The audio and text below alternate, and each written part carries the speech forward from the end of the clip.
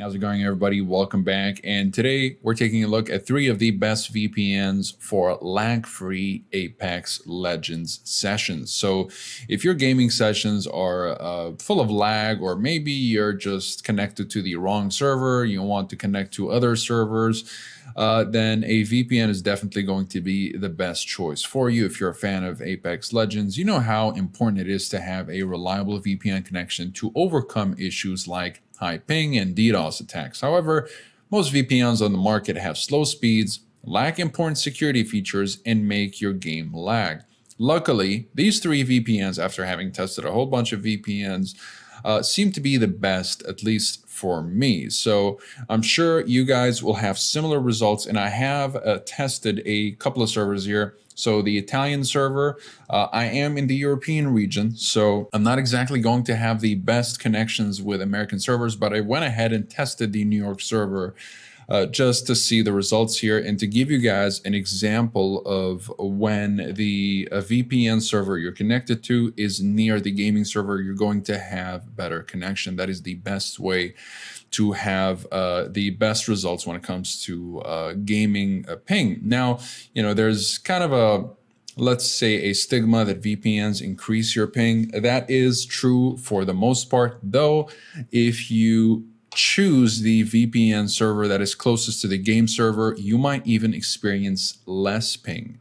Uh, so the it might even be lower than your base ping. In fact, sometimes you are able to get lower uh, than your base ping when you connect to the correct servers. So again, make sure that you know where your gaming server is. So if it's if your gaming server is let's say you're playing Warzone and the Warzone server is in the European region, let's say if it's in the UK, you want to connect to a UK server and then connect to the game, and that'll result in the best results you can get when it comes to ping and latency. So before we begin, if you guys are interested in any of the VPNs mentioned today, be it Express, Nord, or Surfshark, and I'll briefly talk about them at the end of the video, so stick around for that if you're interested. But anyways, I went ahead and um, tested two servers. So the Milan server and uh, the American New York server. And I use this website because it usually gives me really good results, okay? And I'm gonna go ahead and just put these uh, kind of, just so that you guys know which one we tested here, okay? So, and Surfshark. All right. So this is my base. And by the way, I did test the same server. I made sure to go to servers and pick the exact same server every single time. And uh, yeah, for the Italian New York server. I only tested two servers for the sake of time. I don't want to make this video too long. So uh, yeah, this should give you a rough idea though. Okay, so without a VPN, this is my server. By the way, meter.net slash ping dash test usually gives me a great approximation of my real uh, ping, uh, depending on the server I connect to. So let's say if I'm playing Rainbow Six, I might be connecting to the Italian servers. This is what my in-game ping would look like, okay? Give or take 5 ms, but this is usually a pretty good approximation. Okay, so Without a ping, I did three tests. Uh, without a VPN, excuse me, I did three tests for the ping, just for the uh, for the sake of consistency. And we've got 68, 64, and 65. Okay. Now with Express VPN, we've got 68, 68, and 64. So that is a you know roughly a two three ms increase. Some you know it's really negligible. It's barely noticeable. With NordVPN, we've got uh, 69, 68, and 67. So, uh, yeah, roughly the same. You know, you could say that ExpressVPN is a little bit more consistent in this case, but uh, I mean, I, I think NordVPN is just almost as good, really. Uh, so yeah, and with Surfshark, we've got 78, 79, and 81. And this is one uh, one example of when the Italian server of Surfshark is a little bit farther away from uh, the Italian the Milan server right here that we're testing, right?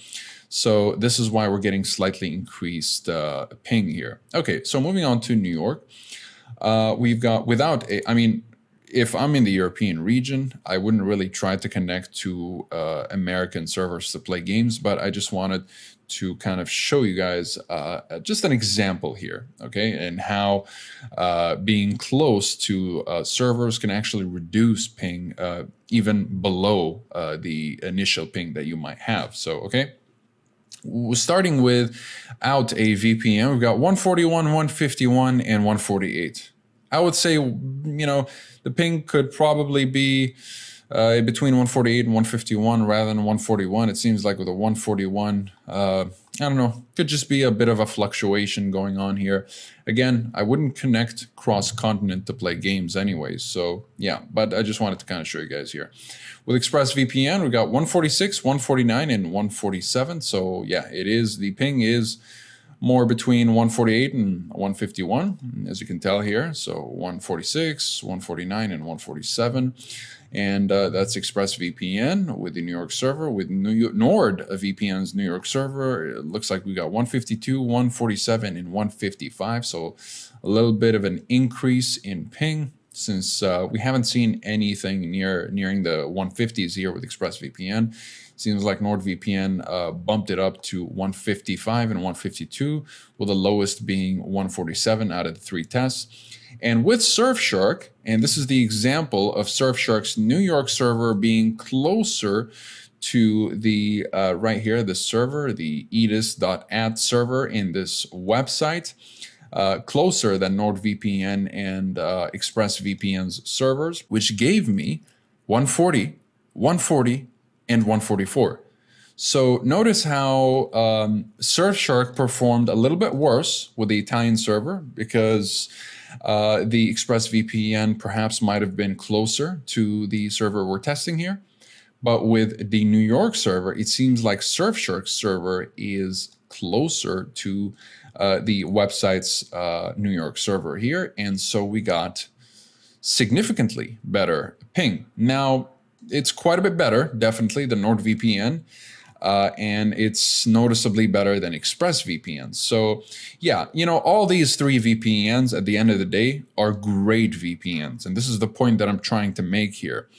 You don't want to just pick some random server when you're playing games if you're looking for the best ping. Otherwise, you are going to get random ping and it'll be quite a bit fluctuating. So, you know, you want to pick your uh, server carefully and you want to make sure that uh, you know the location of your game server of whatever game you're playing. So let's say you're playing Apex Legends in this case, you want to look up where the servers near you are. So if you're in the European region and you want to get better ping, if you're in Asia, if you're in the States, make sure to know where the servers are of Apex Legends, okay, where they're precisely located. You can look that up and you'll be able to find it really in just a couple of Google searches.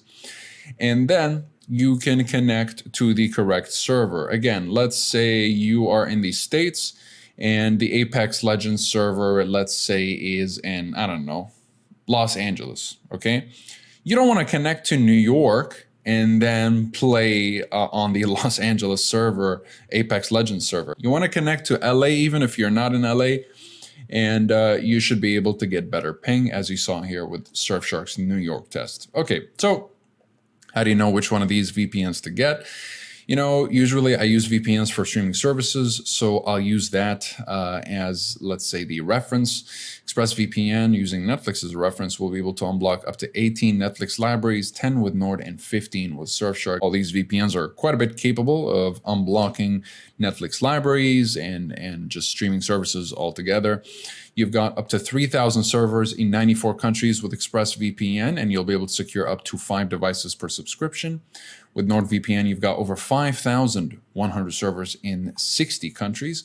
And even though it's 34 less countries than ExpressVPN, you can still see that it's covered it's covering almost the entire globe. It's just that with ExpressVPN, you'll find more South American servers, a few more Middle Eastern servers, and quite a bit more Asian servers. So with NordVPN, you'll be able to secure up to six devices per subscription, and with Surfshark, you'll be able to secure, well, an unlimited number of devices with just one subscription, making it a great budget-friendly VPN, where you can share your account with as many friends and family as you would like, virtually an unlimited number, really. and you've got over 3,200 servers in 65 countries, and it's just a great service overall. It's a great budget VPN, uh, amazing bang for the buck. Okay, great value here.